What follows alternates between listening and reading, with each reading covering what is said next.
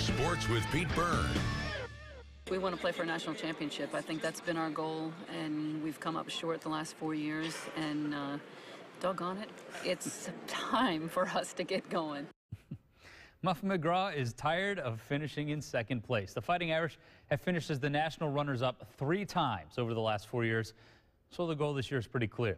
The Irish have begun practice for the new season, which begins four weeks from tonight.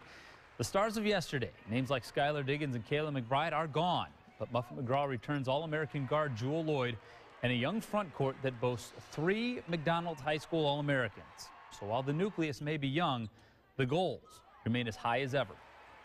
The expectations are the same, like they are every year. Um, we'll be undefeated at home. We're expecting to get to the Final Four this year, like every year, and they stay the same throughout the year.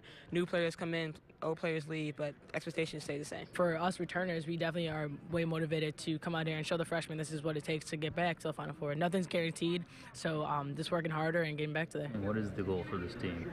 I mean, we definitely want a national championship for sure. That's um, something that every team wants. Very young, very young. The inexperience, uh, the lack of poise and leadership, I think, initially initially, I think is going to give me some gray hair. I've got to really be patient with this group. Tough schedule as always, but you like that. I know you do. Yeah, you know, we're going to learn a lot about ourselves. We're going to find out quite a bit uh, what our weaknesses are, how we have to fix them. We've we've got a lot of work to do, I know, but uh, it'll be fun, I think, as we go along and watch these freshmen mature.